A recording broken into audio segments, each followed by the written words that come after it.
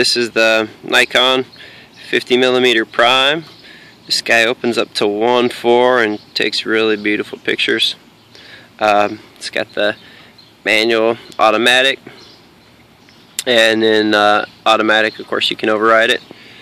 This guy always have the uh, lens cover on it and always have a, a filter on it. Make sure it's nice and protected 58 millimeter. So there it is. From there, I want to show off uh, the other side. It's in great condition still. I've had this for oh, a year and a half now, but in really good condition still. That's, that's how wide it goes, super wide. And I guess I'll take some pictures here. Don't have the most interesting subject matter, so I'll just play around with the uh, the f-stop. Drop my uh, ISO down a bit because I'll put my f-stop all the way open at 1.4. So I'll just take a, a whatever picture here of the mulch. We'll see what it looks like. Beautiful subject matter. And let's see.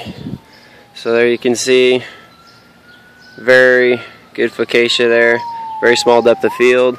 I'll um, I'll close it a little bit and go from 1.4 put it at 2.2 a little bit different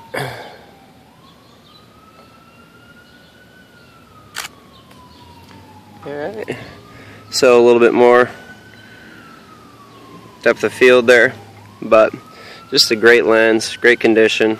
Um, right there with the, uh, the lens cap. and uh, please get in touch with me if you're interested in the, this lens. I'm interested in in going down on this lens. I want to buy a used 1.8. I don't always use the 1.4, but for people who do, this is in great condition, is as good a condition as it was when I got it. So, thanks for listening, thanks for watching, and Call 816-807-7134 if you are interested. Thank you.